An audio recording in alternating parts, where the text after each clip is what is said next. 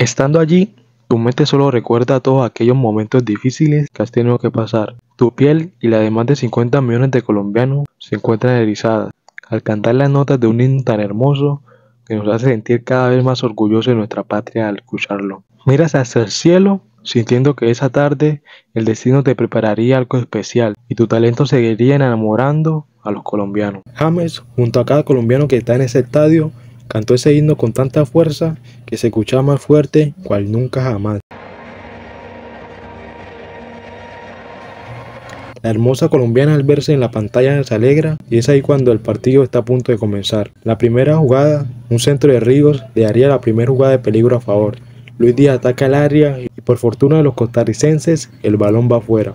Pero minutos después se comenzaría a ver el compromiso de cada jugador con este partido. Sabiendo que si ganaban estarían clasificados a cuartos, Mojica en la banda pelea ese balón que terminan pisando su tobillo. En el piso sintiendo el dolor, mientras Luis Díaz va en velocidad y tira un pase al medio, James lo recibe y patea. Quizá muchos pensábamos que la pudo haber pasado a Muñoz que estaba solo, pero tú en ese momento solo tienes en tu mente una cosa, y es hacer el gol. Minutos después, ante la potencia de John Córdoba y la imprudencia del arquero, le cometen este penal a Colombia.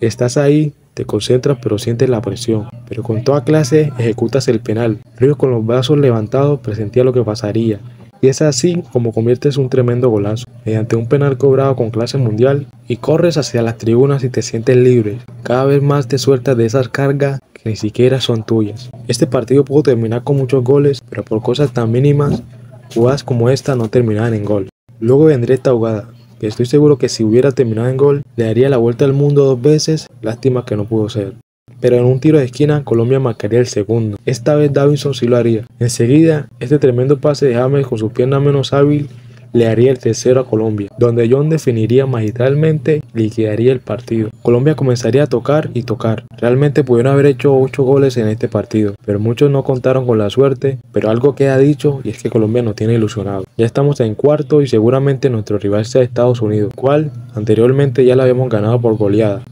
Así que Viva Colombia y su gente.